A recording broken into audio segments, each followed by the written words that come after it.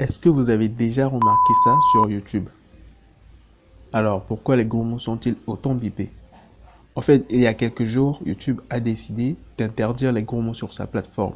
Contrairement, ça veut dire que dès qu'un YouTuber ou une YouTubeuse prononce un mot vulgaire sur sa vidéo, celle-ci sera démonétisée. Du coup, les créateurs de contenu sont désormais contraints de biper tous les gros mots s'ils veulent percevoir de l'argent grâce à leurs vidéos ce qui donne ce genre d'extrait. Bien évidemment, il y aura beaucoup moins d'insultes. Et ces insultes seront remplacées par des bips.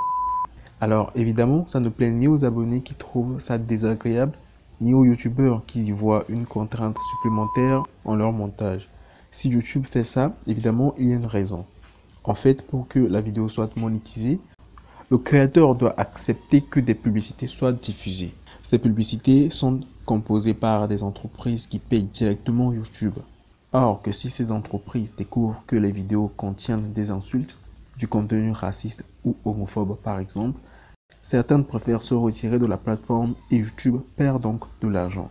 Du coup, pour éviter ça, YouTube est donc de plus en plus strict en matière de monétisation depuis plusieurs années maintenant.